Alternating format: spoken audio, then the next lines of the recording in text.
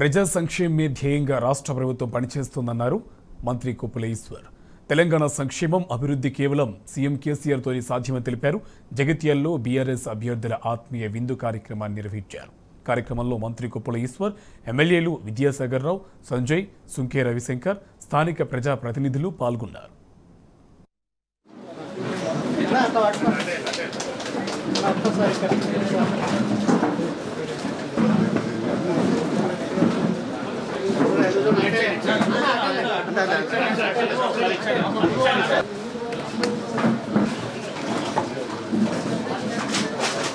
ఒక్కసారి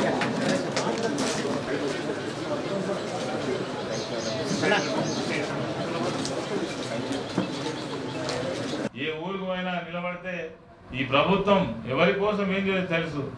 ఇంతకుముందే పెద్దలు విద్యా విద్యాసాగరరావు గారు అన్నట్టు ఏ తలుపును తట్టినా ఆ ఇంట్లో తెలంగాణ రాష్ట్ర ప్రభుత్వం యొక్క కేసీఆర్ గారి యొక్క ఖచ్చితమైనటువంటి ఒక సంక్షేమ కార్యక్రమం ఉన్నదని మాట మన- మనం ముమ్మాటికి చెప్పవచ్చు. ఆనాడు మీరు రెండు వందల పెన్షన్ ఇచ్చిండ్రు కదా?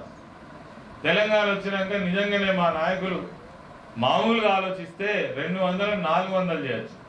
నాలుగు వందలు ఆరు వందలన చేయొచ్చు. ఏకంగా రెండు వేలు ఎందుకు చేసినట్టు?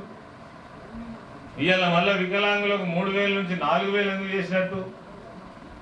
అంటే ముఖ్యమంత్రి గారి ఆలోచనలో ఒక మానవీయ కోణం ఉంటుంది. ఒక నిర్ణయం తీసుకునే ముందు ఆ ప్రజలకు సంబంధించినటువంటి పూర్తి స్థాయి అవగాహనతోటి ఒక స్పృహలో ఉండి ఒక నిర్ణయం తీసుకుంటాడు అనేటువంటిది మీరు ఏ కార్యక్రమం చూసినా దానిలో ఒక మానవత్వం ఉంటుంది.